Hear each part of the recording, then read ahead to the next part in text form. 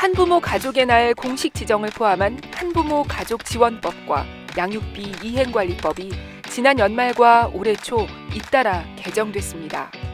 그 뒤엔 연극으로 사람들의 인식을 바꾸고 법 개정에 힘을 보탠 공연 기획자가 있었습니다. 어, 안녕하세요. 저는 문화예술로 사회 변화를 추구하고 있는 명랑 캠페인 오지입니다.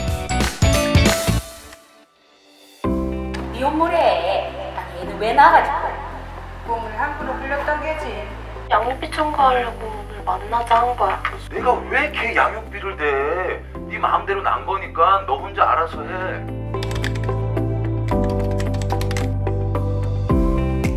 저는 그런 사람이 전혀 아니고 유명하고 큰 작품을 하면서 돈 버는 거에만 되게 관심이 많았던 사람이에요. 어느 순간 이제 좀 우리의 그 오는 관객들이 보이기 시작했던 것 같아요. 그 중에 한 부류가 미혼모였는데 저한테 아, 자기들을 위해서 따로 공연을 해줄 수 있냐고 좀 문의가 온 거예요.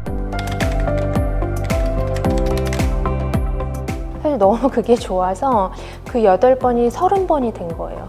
그 사이에 너무 많은 얘기가 나온 거예요. 엄마들의 실제 얘기를 모아서 연극을 해보자. 엄마들의 진짜 목소리를 전해보자.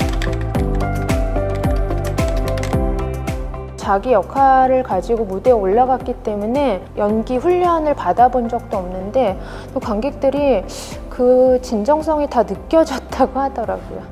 저 어린이집 좀 옮겨주면 안 될까? 네? 다른 엄마들 눈치도 빤하고 분위기도 별로야. 자기가 다른 엄마들 마음이 있어 조용히 옮겨줘.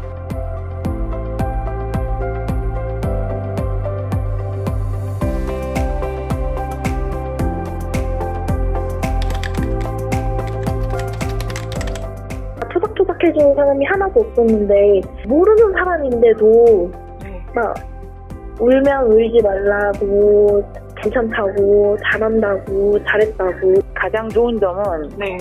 저희가 저희 문제를 객관화시키는 게 사실 힘들었어요. 끝없이 이렇게 늘어놓게 되는 얘기들이 있거든요. 그걸 최대한 대중적으로 그리고 이제 최대한 나의 모습조차도 좀 객관화시켜가지고 다시 내가 나를 볼 수 있게끔 그렇게 이끌어주신 그런 부분 브라질에서 진짜 연극을 입법한 사례가 있어요. 그래서 그럼 나도 입법해볼래 이렇게 된 거예요. 그래서 시즌 2 시작할 때 첫 공연 때 국회의원 분 초대해서 오시라고 그래서 그분이 오셨고 그 다음 날부터 열심히 막 그분도 찾아가고 어떻게 하면 되는 거냐고 입법 활동을 하게 된 거죠. 입법연금 목표하고 법안 통과하는 것까지 횟수로 3년 걸렸어요. 되게 여러 사람이 마음을 모아서 기다려야 되는구나. 그래서 그게 이제 작년 12월 29일 날 한부모 가족법이 통과됐는데 어, 진짜 너무 꿈 같더라고요. 어, 되게 좋았어요. 사실 정말 일개 미물 같은 존재잖아요. 저란 사람이. 그래서 그런 게 되게 신기했어요. 그리고 저희 엄마들도 사실 누가 봐주겠어요. 근데 저희가 계속 목소리를 내고 엄마들이 직접 목소리를 내니까 조금 조금씩 들어주시는 것 같아요. 그래서 저는 아, 성숙한 대한민국 국민들이라면 정말 아빠가 없으면 어때요?